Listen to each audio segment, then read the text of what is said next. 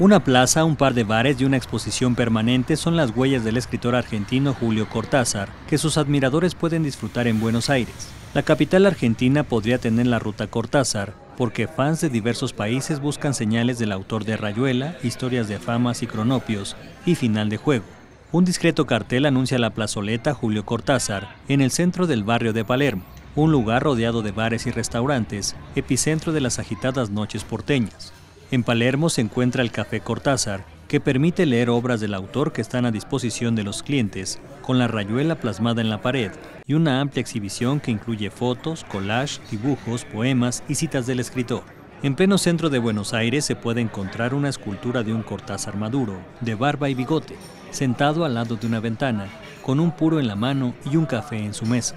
En la calle Florida, la Galería Güemes, que Cortázar inmortalizó en su cuento El otro cielo, al unirla mágicamente con una galería parisina, y la librería El Ateneo, que ha condicionado el primer piso para que fanáticos del escritor disfruten de la muestra Presencias que se inauguró en 2004. Con información e imágenes de Cecilia González, corresponsal en Argentina, Notimex.